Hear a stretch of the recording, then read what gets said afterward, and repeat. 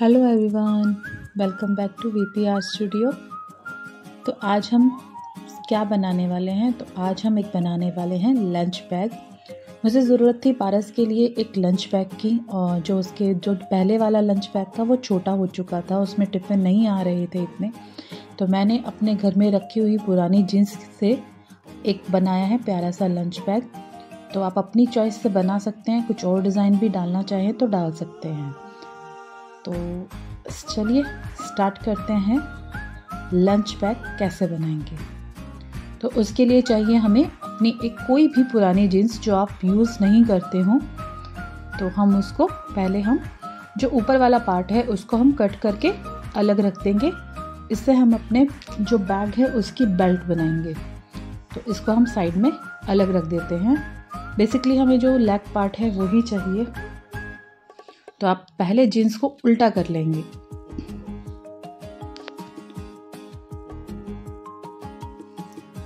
तो अब हम क्या करेंगे, जो हमने स्टिचिंग का पार्ट है, जहाँ पर हमारी डेनिम स्टिच हुई है, उस पार्ट को हम कट कर देंगे। आप सेम दूसरे पार्ट को भी हम ऐसे कट करेंगे और दोनों को एक दूसरे पर रखते हुए, दोनों पार्ट्स को रखते हुए उसको एक शेप देने के लिए सबसे पहले नीचे का हम पार्ट हल्का सा कट कर देंगे ताकि वो स्ट्रेट लाइन आ जाए। अब आप देखेंगे दोनों डेनिम के पार्ट उल्टे रखे हुए हैं। अब हमने क्या करना है? हमने जितना भी आप पार्ट स्क्वायर में ले सकते हैं, यानी जिसको हम स्ट्रेट कट कर सकते हैं, उतना लेंगे। तो मैंने जो बीच का स्टिचिंग पार्ट था, उसको साइड में रखते हुए, यहाँ से थ्री इंच और वहाँ से सिक्स इंच का मुझे मेजर मिला। मैंने वो ले लिया। आप चाहें तो आप अपने अकॉर्डिंग भी कर सकते हैं।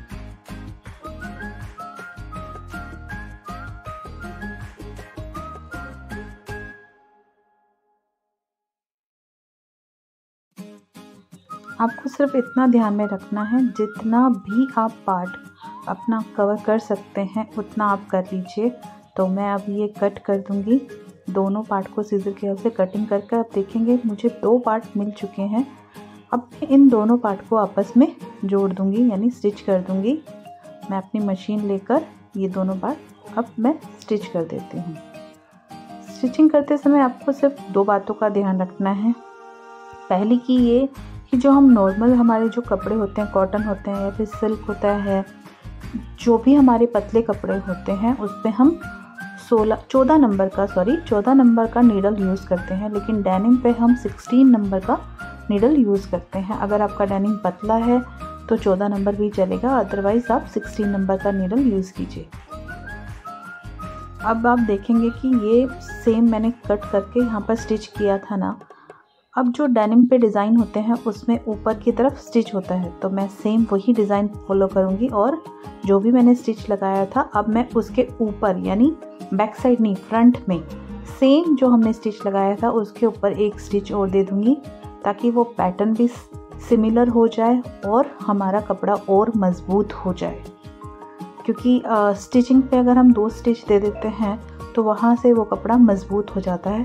तो वहाँ से वो सिलाई जो हमारी खुल जाती हैं, खुलने के चांसेस नहीं रहते हैं।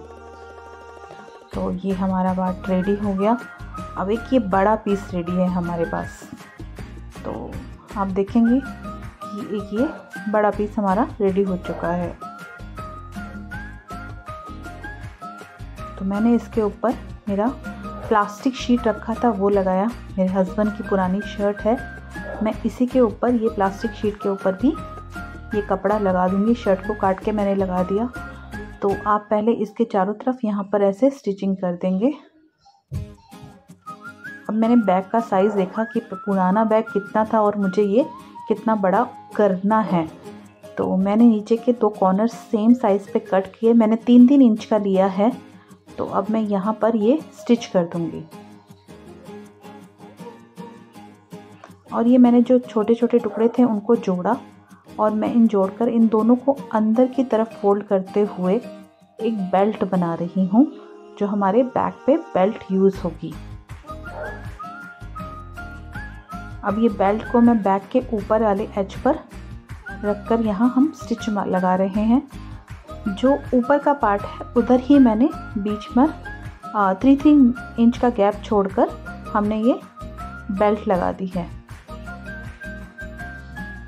तो आप देखेंगे, दोनों साइड मैंने ऐसे ही किया। अब हम ये पार्ट यहाँ से स्टिच कर देंगे। ये दोनों कॉर्नर में यहाँ से स्टिच कर दूँगी।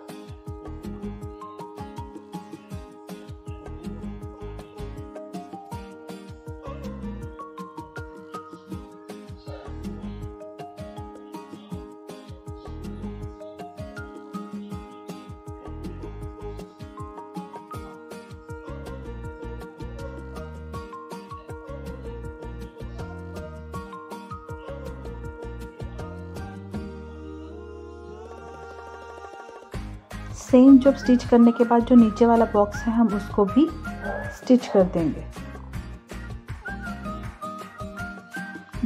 यानी जो नीचे का पारा, जो पूरा पार्ट था, जो हमारा ओपन था, हमने उसको चारों तरफ़ से सिलकर बंद कर दिया है। जो हमारा ऊपर वाला पार्ट है, सिर्फ़ वही ओपन रहेगा। बाकी हमारा बंद कर देंगे हम पूरे पार्ट को। और कोशिश करें कि आप दो दो स्टिच दीजिएगा। वही बात जो मैंने आपको पहले की थी, उससे हमारे बैग थोड़ा मज़बूत हो जाएगा और स्टिचिंग खुलने के कोई भी चांस नहीं रहेंगे।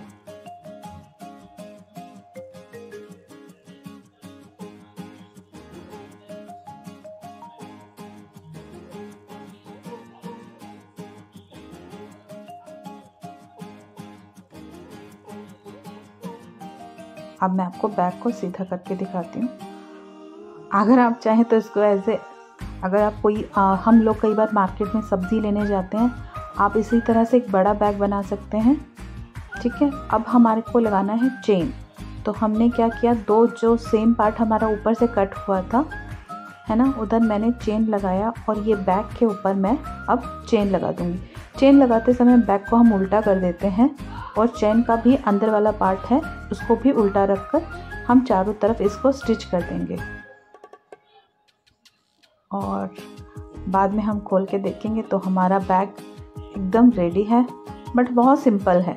तो थोड़ा बच्चों का बैग इतना भी सिंपल हमें नहीं पसंद आता। तो हम इस पर हम थोड़ी सी हम हम पेंटिंग कर रहे हैं। आप चाहें तो उस पर कढ़ाई कर सकते हैं आप कुछ और भी करना चाहें तो कर सकते हैं। आप पाइपिंग लगा सकते हैं, है ना? आप लेसेस गर्ल्स हैं तो लेसेस लगा सकते हैं।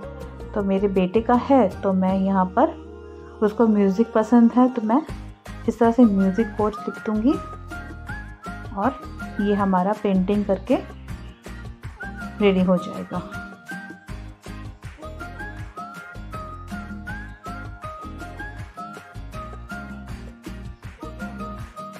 तो मेरा बैग रेडी है। तो आप देख सकते हैं, इसमें इतना स्पेस है कि मैं अपना इसको बहुत सारे टिफ़िन भी देने के बावजूद इसमें जगह बाकी है। तो बैग रेडी है। कल लेके जाएगा पारस ये बैग अपने स्कूल अगर आपको वीडियो पसंद आया है तो प्लीज़ लाइक कीजिएगा and subscribe my channel thank you